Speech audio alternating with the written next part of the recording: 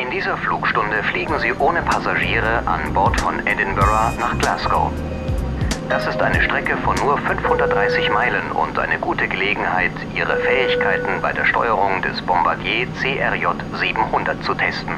Während wir auf die Starterlaubnis warten, möchte ich Ihnen ein paar Dinge erläutern. Das Steuern eines Jets unterscheidet sich nicht wesentlich vom Fliegen mit einer kleinen Propellermaschine. Es gibt nur wenige grundsätzliche Unterschiede. Zunächst fällt Ihnen wahrscheinlich auf, dass das Instrumentenbrett verschieden ist. Anstelle der vielen runden mechanischen Instrumente sind lediglich ein paar große Computerbildschirme vorhanden. Die meisten der angezeigten Informationen sind dieselben, nur die Darstellung ist anders. World Travel 221. Halten Sie bei Startbahn 6 rechts.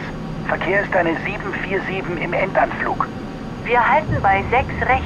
World Travel 221. Dieser Funkspruch war für ein anderes Luftfahrzeug bestimmt. Unser Rufzeichen ist Orbit 526. Ich kümmere mich bei diesem Flug um den Funk, so dass Sie nicht darauf achten müssen. Sie erhalten die Anweisungen direkt von mir. Die Anzeige auf der linken Seite ist die primäre Fluganzeige, auch PFD genannt. Auf der PFD sind mehrere Instrumente in einer Anzeige zusammengefasst. Der blau-braune Bereich in der Mitte der PFD ist ein Fluglageanzeiger. Das vertikale Band auf der linken Seite zeigt die Fluggeschwindigkeit an, während das rechte Band die Flughöhe angibt. Am unteren Rand befindet sich in der Mitte ein Kurslageanzeiger, auf dem der Steuerkurs angezeigt wird. Rechts daneben sehen Sie ein Variometer. Diese Art der Glasanzeigen erfordert einige Zeit der Eingewöhnung. Sobald Sie sich mit ihnen jedoch vertraut gemacht haben, werden Sie deren Nutzen rasch erkennen. Rechts neben der PFD befindet sich die Navigationsanzeige, auf der die Position des Flugzeugs relativ zu den Navigationshilfen und der geplanten Flugroute in der Vogelperspektive dargestellt wird. Sie können die Darstellung der Karte mit Hilfe der Format- und Bereichsknöpfe am linken Rand des Instrumentenbretts anpassen. Wenn Sie möchten, können Sie es direkt ausprobieren. Gut. Die dritte Anzeige ist das System zur Triebwerküberwachung und Benachrichtigung der Besatzung, kurz ICAS. Auf der Standardseite werden Triebwerkinformationen, die Position des Fahrwerks und der Klappen, die Treibstoffmenge sowie Warnhinweise angezeigt. Sie können einen Bildlauf durch die verschiedenen ICAS-Bildschirme durchführen, indem Sie am unteren Rand der Anzeige auf die nach oben bzw. nach unten weisenden Schaltflächen klicken. Auf jedem Bildschirm werden Informationen zu einem anderen Flugzeugsystem angezeigt. Sie übersteuern. Drücken Sie nicht so stark auf den Steuerknüppel. Verwenden Sie für diesen Flug die ICAS-Anzeige mit den Triebwerkinformationen. Die oberen Anzeigen sind mit N1 bezeichnet. Während des Flugs erhalten Sie von mir Empfehlungen für die Schubeinstellungen. Verwenden Sie den Leistungshebel am Joystick oder drücken Sie F2 und F3, um die N1-Anzeigen den Empfehlungen entsprechend anzupassen. Die Reihe mit Tasten und Knöpfen direkt unter der Windschutzscheibe ist die Modussteuerung für den Autopiloten. Auf diesem Flug wird der Autopilot nicht verwendet, sodass Sie diese Einstellungen ignorieren können. Ein wesentlicher Unterschied zwischen einem Jet und einem Flugzeug mit Kolbenmotor besteht darin, dass bei einem Jet die Triebwerke erst einige Zeit hochgefahren werden müssen. Dies hat zur Folge, dass es beim Erhöhen oder Verringern des Schubs einen Moment dauert, bis das Flugzeug reagiert.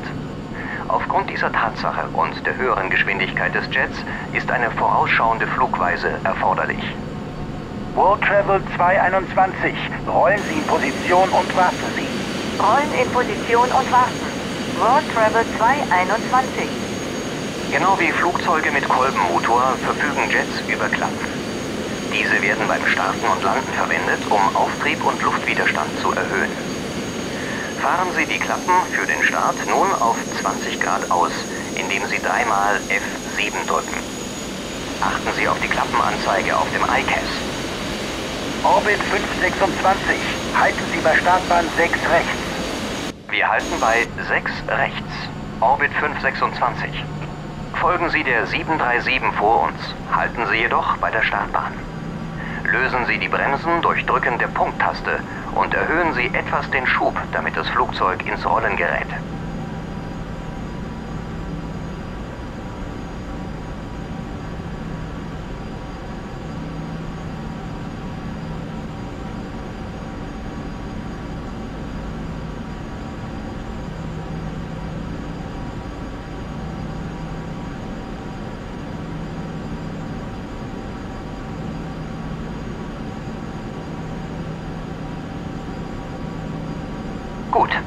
Halten Sie hier an. Noch eine letzte Bemerkung. Während wir vor dem Abheben auf der Startbahn rollen, sage ich vier Geschwindigkeiten an. Wenn ich die Anweisung 80 Knoten gebe, achten Sie auf das Band für die Fluggeschwindigkeit, um sicherzustellen, dass das Flugzeug beschleunigt und in etwa mit der angesagten Geschwindigkeit rollt. Wenn ich V1 ansage, bedeutet das, dass wir die Geschwindigkeit erreicht haben, bei der wir abheben müssen, da der verbleibende Weg auf der Startbahn zum Anhalten nicht mehr ausreichend ist. Sobald ich rotieren sage, ziehen Sie den Steuerknüppel leicht nach hinten, um die Nase anzuheben. Mit der Anweisung V2 haben wir schließlich die sichere Mindestgeschwindigkeit erreicht, bei der wir auch mit einem ausgefallenen Triebwerk sicher steigen können. World Travel 221. Windstill. Starterlaubnis erteilt. World Travel 221 rollt.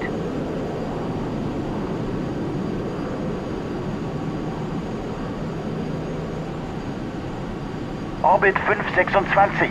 Rollen Sie in Position und warten Sie. Rollen in Position und warten. Orbit 526. In Ordnung.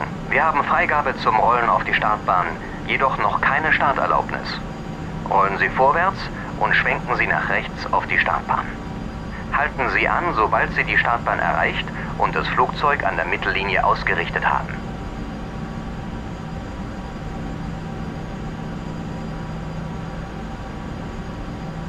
Drücken Sie Umschalt 5, um das obere Instrumentenbrett einzublenden und schalten Sie die Landescheinwerfer ein, indem Sie auf den Schalter unten links klicken. Drücken Sie anschließend erneut Umschalt 5, um das obere Instrumentenbrett auszublenden. Bevor wir starten, sollten wir den Ablauf noch einmal genau durchgehen. Sie steuern das Flugzeug, ich bediene den Funk. Ich gebe die Anweisungen 80 Knoten, V1, rotieren und V2. Wenn ich die Anweisung rotieren gebe, ziehen Sie den Steuerknüppel leicht nach hinten, bis die Nase 15 Grad nach oben weist. Dies können Sie auf der primären Fluganzeige überprüfen. Sobald wir uns im Steigflug befinden, werde ich Sie anweisen, das Fahrwerk einzufahren. Sobald wir uns 1000 Fuß über der Startbahn befinden, werde ich Sie anweisen, die Nase auf 10 Grad über der Horizontallage abzusenken und die Klappen einzufahren, damit wir beschleunigen können. Der erste Steigflug erfolgt bis auf unsere Reiseflughöhe von 6000 Fuß. Der Startfluglotse wird uns daraufhin vermutlich anweisen, eine Linkskurve nach Westen zu fliegen. Ich gebe Ihnen dann Bescheid. Orbit 526. Windstill. Starterlaubnis für Startbahn 6 rechts erteilt. Starterlaubnis erteilt. Orbit 526. In Ordnung. Wir haben Starterlaubnis. Wenn Sie bereit sind, verwenden Sie den Leistungshebel am Joystick oder drücken Sie die F3, um den Schub zu erhöhen. Starten Sie mit 50% N1. Warten Sie, bis sich die Triebwerke stabilisiert haben und erhöhen Sie dann den Schub auf 100%. 80 Knoten. V1. Rotieren. Heben Sie die Nase langsam auf 15 Grad nach oben. V2. Positive Steigrate. Fahrwerk einfahren. Drücken Sie G, um das Fahrwerk einzufahren. Orbit 526. Rufen Sie die Abflugkontrolle. Okay. Justieren Sie mit Hilfe des Steuerknüppels die Längsneigung so, dass die Nase auf der primären Fluganzeige 10 Grad nach oben weist und fahren Sie die Klappen ein. Verringern Sie den Schub auf ungefähr 80% N1, um die Geschwindigkeit unter 250 Knoten zu halten. Steigen Sie und halten Sie auf 6000 Fuß. Orbit 526 schalten um. Edinburgh Abflug, Orbit 526 bei Ihnen. Wir steigen auf 6000. Orbit 526, Roger. Orbit 526, drehen Sie nach links auf Steuerkurs 270. Links nach 270, Orbit 526.